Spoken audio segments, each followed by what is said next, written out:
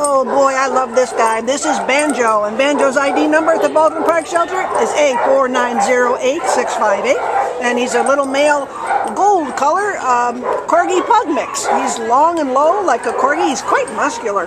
He weighs about 21 pounds, and he came to the shelter as a stray on New Year's Day from West Covina. Uh, he came came in with a companion uh, so I don't know, we don't know anything about that. She, he was, but he was with another doggy.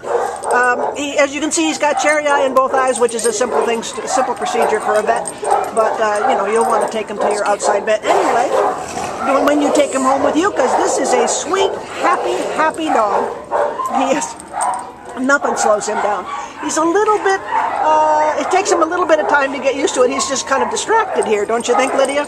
Yeah, and he's right now, he's he's like curious, everything, like he's like on right. hyper alert right now. Yeah. he's, but he's, he's just darling, and he's a great size. It's almost like he's a big dog in a little body. Yeah. he's really a cutie. He's got a sweet temperament. He shows signs of being housebroken. Very affectionate. Walks on a leash. Very affectionate. Um, very, very friendly with uh, dogs and people. So, you know, perfect dog. He's going to be absolutely the perfect pet for a family or a single apartment, house, whatever. I'm sure he'd like to run and play as soon as he gets out of here. So come on down and meet Banjo because he's available for you right now. And he is so darn cute. Look at you. come on, Banjo. So There's something we, out there. Yeah, dog got his attention. Yeah.